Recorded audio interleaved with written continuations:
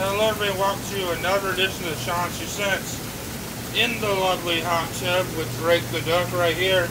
I'm here to review Ring of Honor's Champions versus All Stars. Very solid show. Let's go into the matches. So we have Nigel McGuinness coming out saying Mark Briscoe won't be in the main event because of Poison Ivy. Then Ciampa comes out and they make him the replacement for, for Mark Briscoe. So we go to our first match, which is BJ Whitmer versus Will Ferrara. An okay match with some nice storytelling between the veteran and the veteran underestimating the newcomer, but it was an alright match, very forgettable. BJ Whitmer gets the win. Then we had TD Thomas versus Owen Travers.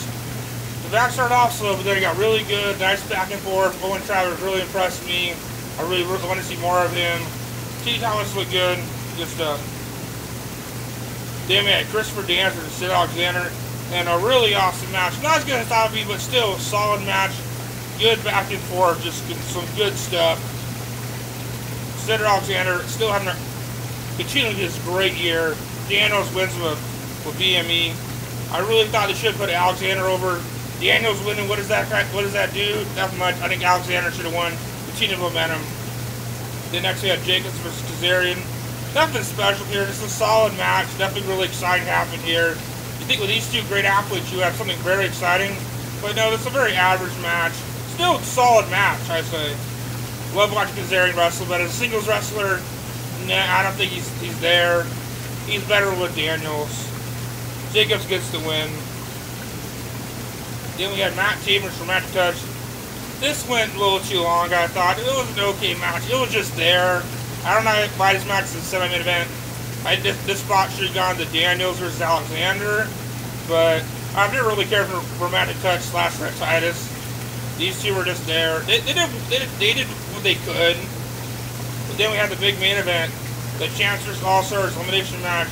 It went close to 60 minutes. It's gonna be hard. It'll be hard for me to recap the whole match. Basically, it's elimination style. You got the champions, the World Heavyweight Champion Jay Briscoe, the TV Champion Jay Lethal, World Tag Champions Bobby Fish, facing Adam Cole, ACH, Rashong. Sponsor Channel. Fun match. Really good match. Really entertaining. This is a great match with a great show of ACH. It's just good stuff here. I wish ACH would have got the win and got the title shot, but Briscoe ended up being the sole survivor at the 35 minute mark. So overall, a good, good, good, good main event. That's the match of the night, I think, is the main event. Second place goes to Cedric Alexander versus Christopher Daniels. Mainly get the show, this show for the Daniels Alexander match. And uh, the main event, the Champions. All Stars Elimination main event. Good stuff there.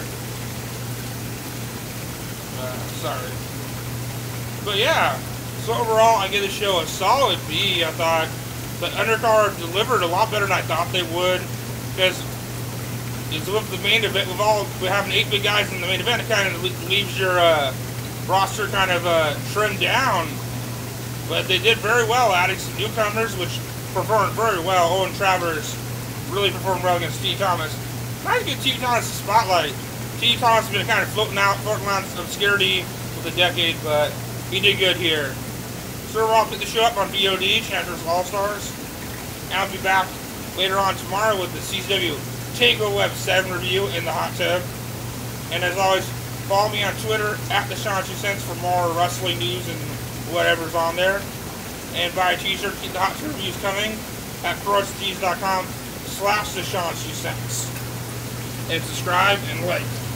Peace.